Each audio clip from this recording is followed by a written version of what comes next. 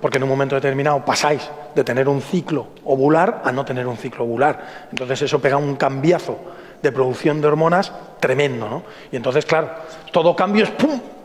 un choque, ¿no? Entonces, ¿qué hay que hacer? Bueno, pues lo primero que hay que hacer es prepararse para ese cambio. Lo primero empieza antes. Si tú has llevado una mejor alimentación, si tú has hecho más ejercicio, normalmente las menopausias en las personas que hacen más ejercicio y que se alimentan mejor son como más moderadas, no suelen ser tan bruscas, ¿no?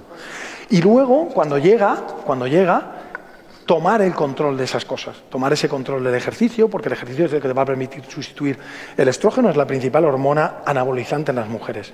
Y ese estrógeno que no estás produciendo a través del óvulo, si tú haces ejercicio, tu organismo lo produce a través de las glándulas suprarrenales. Luego ya contrarrestas un poquito. Y luego a nivel de nutrición, lo que os decía antes, la soja, por ejemplo, se ha visto que es muy importante. Y luego, a nivel de mantenimiento de tu organismo, lo que te lleva es endocaimiento de masa muscular que secundariamente te lleva a una pérdida de masa ósea y osteoporosis. ¿Cómo hacemos que no pase eso? Vale, la soja por un lado, pero por otro lado también vamos a hacer ejercicio y vamos a estar con una dieta adecuada en proteínas. Si llevamos una dieta adecuada en proteínas, hacemos ejercicio y encima para bajar un poquito los síntomas, parte de esa proteína que habíamos dicho que tenía que ser vegetal, aprovechamos y la tomamos de soja y tenemos esos, esas isoflavonas de la soja que me están, esos fitosteroles que me están permitiendo tolerar esos síntomas, pues te lo va a hacer todo muchísimo más fácil. ¿De acuerdo?